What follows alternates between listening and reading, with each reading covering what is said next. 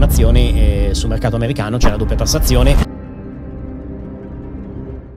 Ma se io compro e vendo azioni USA c'è la doppia tassazione? Sì. Se un conto in regime amministrato posso dormire tranquillo? Allora sì, puoi dormire tranquillo perché ci pensa la banca, ma comunque ma c'è la doppia tassazione. Eh, sì. Ok, quindi eh, se sei in regime amministrato tu dormi tranquillo perché nessuno ti verrà mai a dire beh. Ok, infatti nel regime amministrato volendo tu puoi anche non non, non, dichiarare niente, cioè non, non, dichiarare al commercialista, non digli niente. Ce li ha in regime amministrato, ci pensa la banca, quando il, o la banca o il broker o insomma o chi, eh, o chi ha regime amministrato, eh, ti fa anche direttamente le pratiche per la, ehm, per la doppia tassazione. Se ti rivolgi al tuo medico di base per un problema di salute, come fa il medico a capire come poterti aiutare?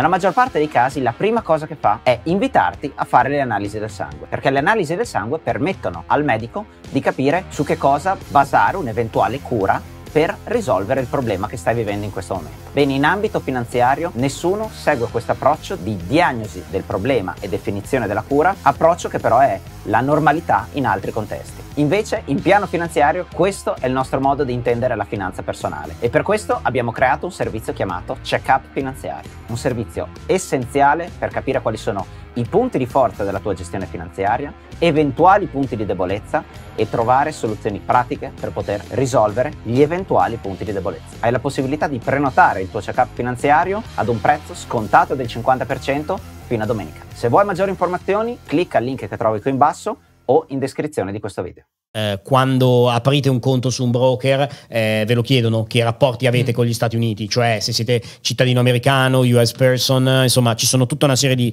eh, procedimenti burocratici proprio per fargli capire come gestire la doppia tassazione, eh, che però c'è, quindi se avete un'azione eh, sul mercato americano c'è la doppia tassazione, non è propriamente doppia perché poi ci sono degli accordi, ah, sì. quindi non pagate il 26% italiano più il 15 americano.